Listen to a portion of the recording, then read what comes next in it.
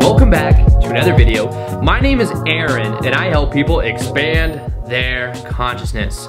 Now in this video, I'm gonna be sharing with you how to change your self-image, how to maintain that self-image, and how to not revert back to the old self-image. Now realize that it's even kind of reluctant for me to say that because it's not so much about attaining a new level of who we are, it's more about simply letting go of what doesn't serve us and letting go of the inauthentic parts of ourselves, of who we think we need to be to make other people happy. Understanding how we can express ourselves 100%.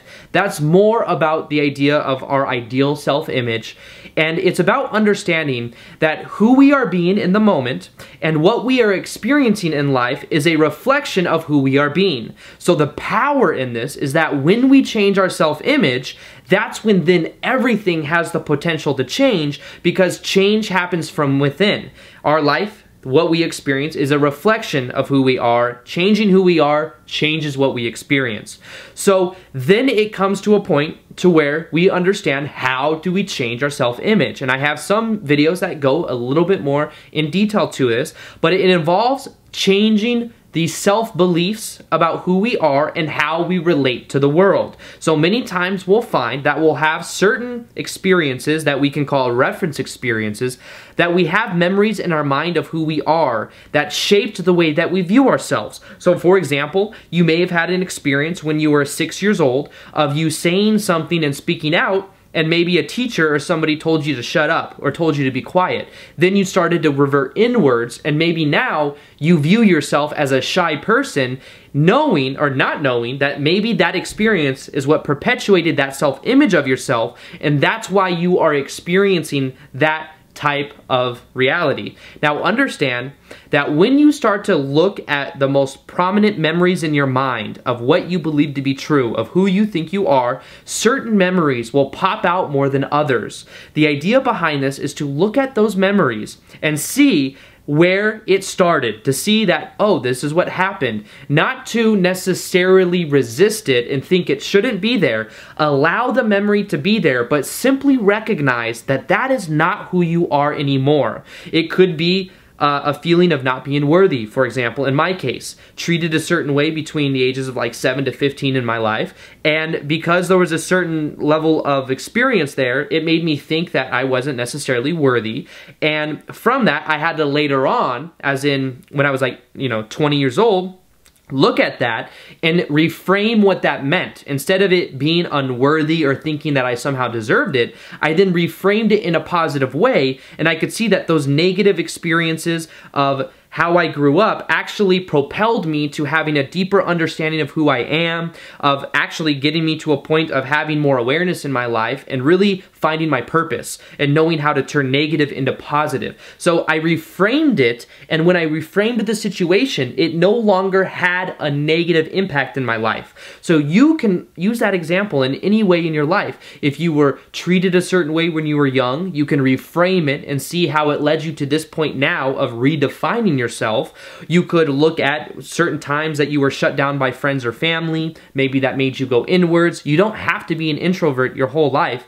Understand that the moment you become aware of this, you can then choose who you prefer to be, and you can choose to let go of what doesn't serve you anymore. That's why I say this is more about letting go than tapering on. But as you let go of the introvert and you focus on being more expressive with who you are, you focus on what feels good to you and how you can do that and take out those filters, you then start to change your self-image.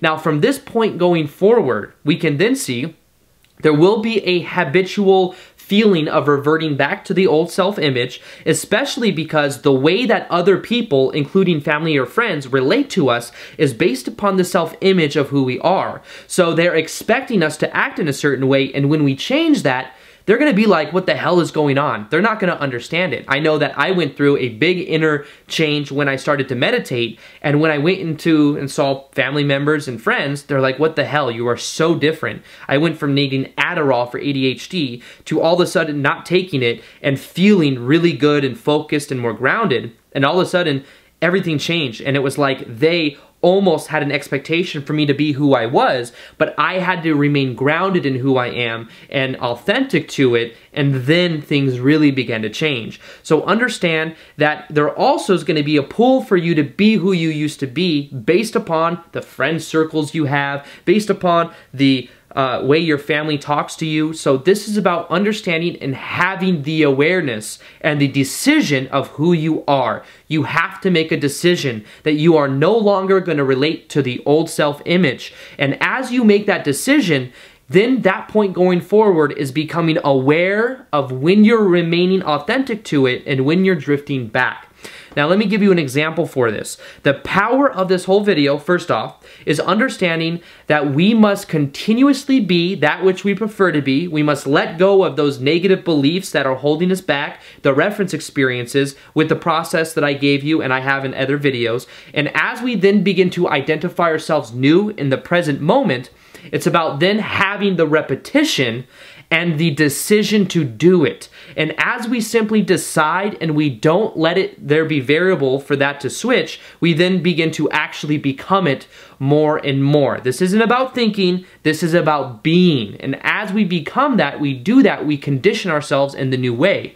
Now, let me give you an example for how we cannot let ourselves fall back. Now, for example, there was a part of my self-image, and you can frame this any way that you think, but I used to bite on my nails a lot. And I would find myself, especially when I would edit videos or I was doing anything where it was easy, easy for me to go on autopilot, I would start to bite my fingers or bite my, uh, my nails. What I realized though, is if I just set in certain habits, I would then catch myself and then realize in that moment that that's not who I am anymore, then it would naturally stop. But the moment and when I am unconscious of it, that's when it becomes something that just continues to perpetuate itself. It becomes automatic. Realize that our definitions are creating the kind of experiences that we have. We can tag on this new level of understanding what a habit is. On the old definition, and this is something I believe I got from Darryl Anka, this is the idea of understanding a habit. What we think of as a habit normally is something that just continues to run us. It's something that's on autopilot. Now, what if instead of thinking of it like that, we thought of it as it is something that we do that we don't know we're doing. The moment we become aware that that's what we're doing, it then is no longer a habit. It then becomes a choice. So what this means is that with the awareness, we then become aware that it is a choice if I continue to put my fingers into my mouth to bite on them because I am then aware that that's what I'm doing. That's where the awareness is. So I set certain triggers for me to become aware of that. An example, put lotion on my hands. If I put lotion on my hands and I go to bite my fingers, I'll immediately taste the lotion and remember that's not who I prefer to be and then I'll let it go. If I do bite my fingers, I am choosing to and I'm then aware of the fact that I'm not making the decision to be who I prefer to be. So this is about setting triggers for yourself that make you more aware of who you prefer to be, understanding that with repetition, that's the key to changing your self-image. Now I say this in a lot of my videos, but condition yourself right when you're going to bed at night. Begin to imagine the perfect version of yourself. Begin to feel the emotions of living your passion, of doing what you want to do, of being the best version of yourself, of the body language that you have, of how other people would respond to you. As you visualize that before you go to bed at night, you begin to literally condition that into your mind. When you're going to bed at night, the last 20 minutes, you're going from a beta to an alpha to a theta to a delta state. Your mind is deepening and going into the deeper levels of brainwave activity. The way that we influence our subconscious mind, which is where our self-image is, and our beliefs, is through the medium of feeling. If we feel and condition ourselves to be who we prefer to be, that's when we begin to make it easier for us to recreate that throughout our day. A lot of times, the way we go to bed is the way we wake up. So when we wake up in that state, it becomes more likely that it becomes just a part of who we are. So realize that you can condition the feeling into yourself. You can set triggers for you that make you aware of what you're doing. And as long as you are aware of what you're doing, you're not on the autopilot mind, you can then choose who you prefer to be, and you can then choose to become the most authentic version of yourself. So, with that being said, I hope this video helps you understand how to maintain your self-image by letting go of what doesn't serve you,